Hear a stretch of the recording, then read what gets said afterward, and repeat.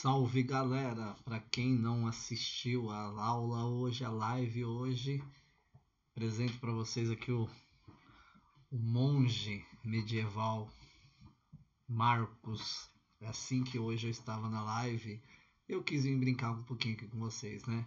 Mas eu vou tirar o capuz aqui, né? Não vou ficar de capuz não. Deixar ele aqui, ó. Ficou até legalzinho, né? Dá pra, dá pra manter ele aqui durante esse período aqui. Vamos deixar ele aqui. Tentar me arrumar aqui. Opa, aí. Ficou legal. Beleza? Galerinha, vamos lá. O professor vai gravar um pouquinho para vocês aqui falando um pouquinho sobre o reino carolíngio, né?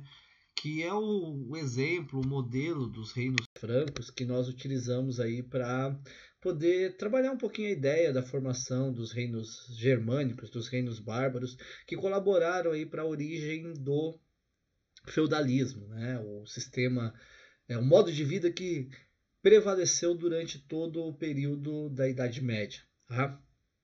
É, os reinos bárbaros eles tiveram a sua formação a partir da derrocada do Império Romano, então a partir do século V em diante, nós vamos observar na história da Europa Ocidental a fragmentação do território e a formação de diversos é, reinos de origem germânica é, cuja característica principal desses reinos era a curta duração. Né? Eles duravam basicamente o tempo de vida de um rei, e assim que esse rei morria, o seu reino era dividido entre os seus herdeiros e começava toda uma luta, né, uma disputa entre eles aí, visando né, uma é, unificação novamente do território. Ah, então a instabilidade era muito grande.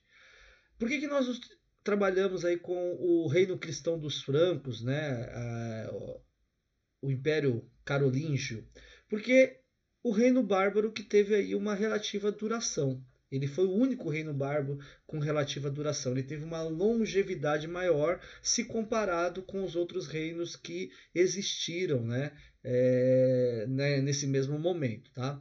Bom, os francos, eh, o Império Carolíngio, reino cristão dos francos, é, geograficamente falando, eles ocuparam o espaço onde hoje nós temos o atual território da França. E para a gente entender a formação né, desse reino dos francos aí, é, o mais duradouro dos reinos germânicos que existiram nesse período aí da chamada Alta Idade Média, a gente trabalha aí com duas dinastias que governaram os francos. Uma dinastia que foi uma dinastia que promoveu a unificação e a conversão das tribos francas ao cristianismo, que é a dinastia merovingia, e depois nós trabalhamos com a dinastia carolíngia, que é aquela que vai levar os francos aí ao seu ápice de desenvolvimento, né, ao êxito é, maior aí de, de desenvolvimento que os reinos francos tiveram aí na história da Idade Média Ocidental. Então, a dinastia merovingia ela teve origem lá em torno do ano 496, quando o rei Clovis, né, o rei da, dos francos, ele promoveu um processo aí de conversão dos francos ao cristianismo e isso colaborou para o processo aí de unificação das tribos francas, tá? A história da conversão dos francos ao cristianismo é um tanto quanto é interessante, né? É, segundo a, a historiografia dos francos, o Clovis estava numa batalha em busca da conquista da região da Gália, lutando com outros grupos de francos que não é, se submetiam aí ao seu domínio. E a esposa do Clovis, que já era uma cristã, ela insistia na conversão do Clovis, até que um belo dia, né, é, ele, ela teve um sonho e contou esse sonho para ele, que era o sonho de que ele deveria pintar o símbolo da cruz é, nas armaduras, nos escudos dos soldados, né? E a voz dizia para ela que sob aquele símbolo eles venceriam a batalha. E o Clovis mesmo, não acreditando muito, ele resolveu fazer isso, né? E acabou vencendo a batalha. E daí ele utilizou dessa história aí para convencer aí os seus súditos a se converterem ao cristianismo. Então esse processo aí deu origem aí à dinastia merovingia, né? Que, é, na verdade, o que é a dinastia merovingia? O Clovis ele se considerava é, herdeiro, né? É, na verdade não herdeiro, ele se considerava é, descendente, essa é a palavra correta, de um antigo é, guerreiro franco, né? um lendário guerreiro franco, Meroveu, é, e ele se considerava aí é, descendente de Meroveu, então né, é, o, o reino fundado pelo Clovis deu início aí à dinastia Merovingia. Tá? Foi um processo de estabelecimento de uma ruralização em virtude aí da, das práticas econômicas dos, dos germânicos, né, dos francos, ah, e nesse processo aí o Clovis ele começou a estabelecer ali os princípios né, de fragmentação do poder no seu reino para favorecer a sua administração e para ter o apoio de outras lideranças, como por exemplo os nobres é, das outras tribos francos que se uniram aí ao reino é, da dinastia merovingia do Clovis e também aos membros da igreja, né, o clero. Então ele, ele distribuiu terras do seu reino aí a essas, a essas elites aí em busca de apoio ao seu reino, ao seu poder. Bom, os descendentes do Clovis, né, os sucessores do, do Clovis, eles não tiveram a mesma eficácia administrativa que o primeiro rei da dinastia merovingia teve. Por isso, eles ficaram conhecidos na história como reis indolentes. O que é indolente? Indolente é a mesma coisa que preguiçoso. Esses monarcas que vieram depois do Clovis aí, eles tiveram uma incapacidade muito grande de administrar o reino eles acabavam é, preferindo é, lazer, diversão, festas, ao invés de se preocuparem com questões administrativas do reino. O poder de fato né, esteve nas mãos é, no, no, período aí dos chamados reis indolentes é, de figuras né, que eram conhecidas como os administradores, os prefeitos do palácio, né? os mordomos do palácio, na linguagem dos francos, né? os majordomos, que eram espécies aí de, de primeiros ministros que os monarcas eles tinham e eles acabavam ocupando esse espaço aí de é, estar realmente aí é, se preocupando com as questões administrativas do reino. Por que o professor está citando aí os majordomos ou os prefeitos de palácio? Exatamente para a gente entender uma mudança que houve aí no reino franco e uma transposição da dinastia merovingia para a dinastia carolíngia. Isso em virtude de um prefeito de palácio, no ano de 732, o Carlos Martel, ele sair vitorioso em uma batalha que impediu aí a a conquista do território da França, né, do território franco, do reino franco, pelos árabes. A expansão árabe aconteceu na Europa. É, se a gente se aprofundar um pouquinho mais, nós vamos ver que a Península Ibérica, né, território onde hoje é Espanha e Portugal, tiveram ali a formação de reinos árabes naquela região, a influência árabe ali é grande, mas no território da França isso foi contido né, pelo, pela atuação é, é, pelo comando de um prefeito de palácio chamado Carlos Martel, que conseguiu barrar aí a chegada dos árabes na Batalha de Poitiers. Né? A Batalha de Poitiers foi significativa. E com isso, esse prefeito de palácio ele ganhou notoriedade. Né? Ele ficou bastante é, bem visto né, pelos é, francos e acabou né, assumindo o poder de monarca dos francos. Né? Bom, ele dá origem aí à chamada dinastia carolíngia. Na dinastia carolíngia, o professor deixou separado e destacou para vocês aqui a atuação de dois, né, de dois, é, digamos assim, é, sucessores do Carlos Martel.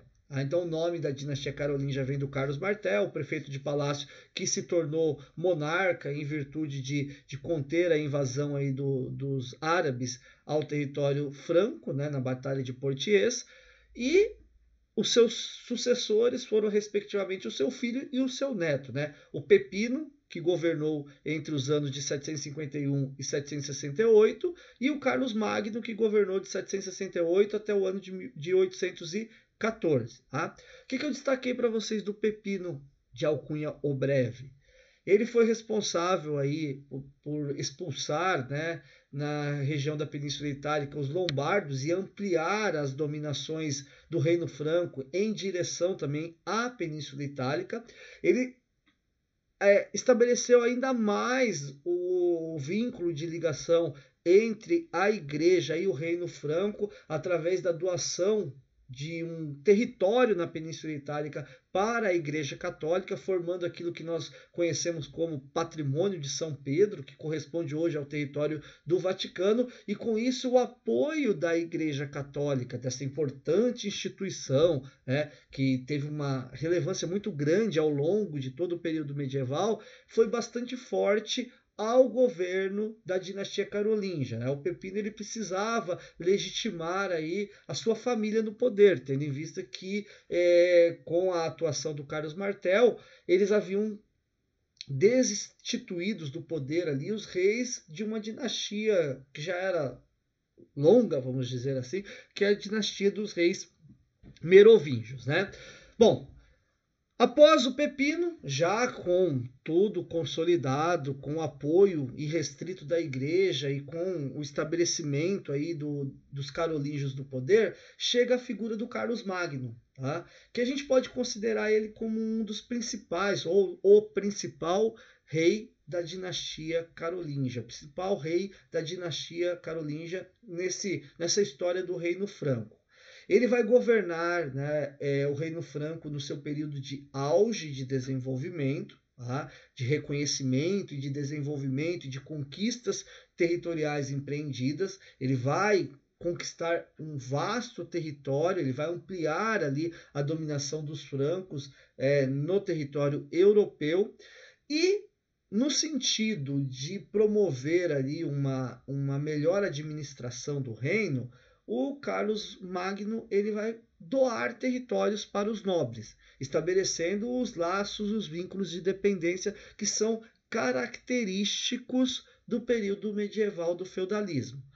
É, por mais que ele fez essa fragmentação e essa doação, ele buscava uma certa centralização do poder, uma centralização relativa do poder, tendo controle sobre esses nobres que passavam a governar o, o, os territórios, né, o, o amplo território que os carolíngios haviam conquistado aí sob o comando não só do Carlos Magno, como também do Pepino Breve e do Carlos Martel anteriormente. Tá? É, o apoio da igreja era algo evidente ao governo dos carolíngios, né? E a igreja se utilizou desse apoio também para poder expandir aí a fé cristã para povos e converter outros povos do paganismo ao cristianismo. Tá? O, o, Carlos é, Magno ele tinha uma, uma ideia, uma ambição. Ele queria conquistar terras ao ponto de estabelecer novamente o Império Romano sob o seu comando, sob o seu domínio. Tá? Tanto que é, ele até alcança algo é, próximo a esse anseio, né? quando ele sagra-se né? É, como é, imperador do Sacro Império Romano Germânico. Aquilo que vai ser o, o primeiro império, vamos dizer assim, que se forma aí, né? no restabelecimento né? do, do domínio dos francos aí, a territórios que anteriormente é, pertenciam ao, ao derrotado Império Romano do Ocidente, que se fragmentou. Tá? Então ele teve. É, e, e, esse nome, né, Sacro Império Romano Germânico, tá? é, é uma conotação bem forte, no sentido de nós percebermos aí a importância que a igreja tinha nesse momento de legitimação dos poderes. Né? O, o, o Carlos Magno ele se considera aí um, um, um, governante que está no poder por uma é, vontade divina representada pelo apoio da igreja. Por isso ele foi coroado imperador do Sacro Império, do Império Sagrado, que unia né, os, a cultura romana e a cultura germânica. Por isso o Sacro Império Romano Germânico.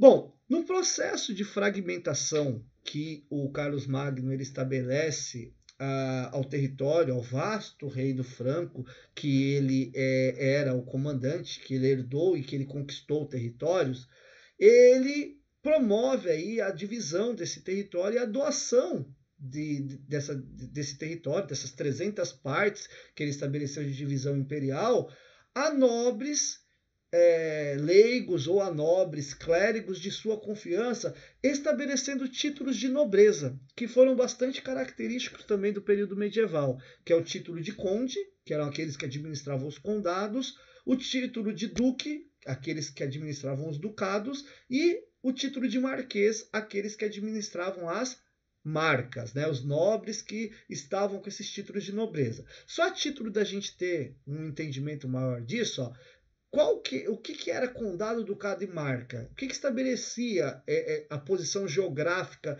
dessas partes aí que foram fragmentadas do Império pelo Carlos Magno? A distância em relação ao poder central do Reino Franco. Então, as terras mais próximas do, do, do rei eram os condados. As terras intermediárias, as mais distantes um pouco, mas que estavam numa posição intermediária, eram os ducados. E as mais distantes, aqui estavam lá na fronteira, nos limites, eram as marcas, né? As marcas do reino, os limites do reino.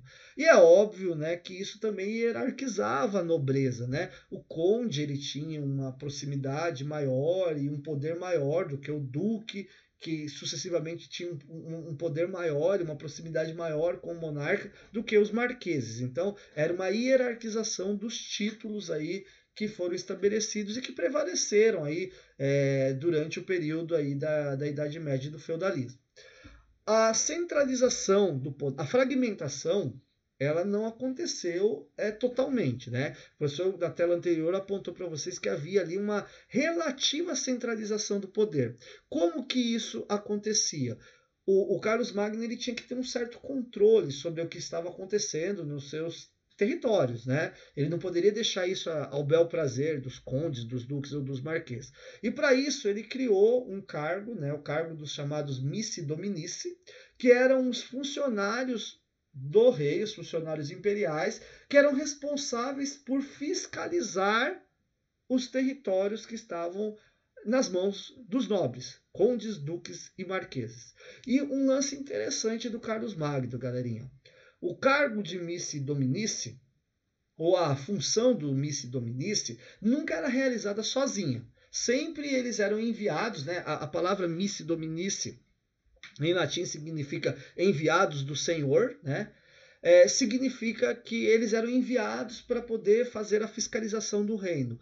E o interessante é que eles nunca eram enviados sozinhos, eles sempre iam em número de dois, né? Eram dois missi dominici que saíam em direção aí às 300 partes do reino para poder fazer a fiscalização em nome do rei. E o mais interessante, né? Eles sempre eram de origem diferente, né? Era um de origem leiga e um de origem religiosa, um clérigo e um leigo. Isso para evitar também aí um, uma é, que eles se mancomunassem aí e, e, de repente passassem o Carlos Magno para trás. Então ele colocava dois grupos diferentes para poder fazer essa, essa inspeção burocrática dentro aí da, das divisões imperiais que ele estabeleceu. Tá? Estabeleceu também um código de leis imperiais que valiam para todo o território, que são as capitulares, Citei aqui para vocês também né, um acontecimento importante do Carlos Magno, foi ali a, a, a, atuação dele no que se refere à questão da cultura, a questão do conhecimento, a questão do letramento. Né? O Carlos Magno ele se preocupou com isso, é, isso é algo relevante, levando-se em consideração que nós vimos anteriormente que a maior parte dos é, bárbaros, eles eram analfabetos, eles desconheciam aí a literatura greco-romana, por exemplo, né? E, e, e, sendo analfabetos, eles não tinham essa preocupação aí com a preservação de obras, digamos assim, é, escritas, né? Mas o Carlos Magno ele se, ele se apropriou dessa característica da cultura greco-romana e ele quis implantar isso junto aos francos. Tá? É, e aí ele iniciou todo um processo aí visando é, preservar, exaltar e divulgar aí é, o conhecimento das obras clássicas, tá? que é o Renascimento Carolíngio. Fundou escolas, né, as escolas palacianas, que serviam para ensinar os nobres, a, a, a, dar letramento para os nobres, enfim. É, é um, um, aspecto bastante significativo de desenvolvimento proposto aí pelo Carlos Magno do Reino Franco. Tá? Bom, a morte do Carlos Magno ela vai é, gerar um enfraquecimento do reino franco, né? Os seus sucessores, eles não vão ter a mesma capacidade, a mesmo carisma administrativo que o Carlos Magno teve, né? O Luís o Piedoso governa entre 814 e 841, é, um período de enfraquecimento, um período de agravamento da descentralização política, né? Em virtude aí dele não ter um poder de controle sobre os nobres, uma fase de disputa muito grande se estabeleceu após a morte do Luís, o Piedoso, os seus filhos, né, sucessores. É, ele dividiu o reino quando da sua morte e isso acabou estabelecendo uma disputa envolvendo os seus filhos. Essa disputa ela só se findou em 843 com o Tratado de Verdun, que promoveu a divisão do Império Franco.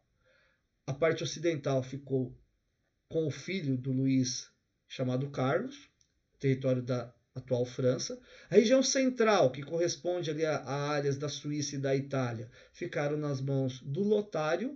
E o Oriente, a parte leste, território da atual Alemanha, ficou nas mãos de Luís o Germânico. E assim fechava e finalizava aí o, o, a história do Reino Franco. Né? E assim a gente tem a formação das características que vão dar aí origem a esse período da Idade Média que nós estamos trabalhando nas aulas, que nós trabalhamos hoje na live com a colaboração do professor Flávio, fazendo para nós uma leitura ali do imaginário medieval através da obra do Dante Alighieri, né? É, a Divina Comédia. Foi muito enriquecedor isso para nós. Valeu, galera! Vou fechar aqui, né, finalizar meu momento é, monge medieval, ó, fiquei bem, bem parecido com o carinha lá em cima, certo? Gostei muito desse capuz aqui. Acho que eu vou até começar a usar ele no dia a dia, né? Capuzão bem, bem legal. Até me senti um pouco. É, hoje o professor Flávio citou um jogo lá do PS3 e lá do Dante, né? E eu vou citar para vocês. Eu me senti aqui também um Assassin's Creed. Né? Já joguei Assassin's Creed com meu, com meu filho também no PS3 e o cara ele usa né, um, um, capuz mais ou menos assim, né? Então eu poderia muito bem ser um Assassin's Creed aqui também. Valeu, galera. Abraço, hein? Até mais.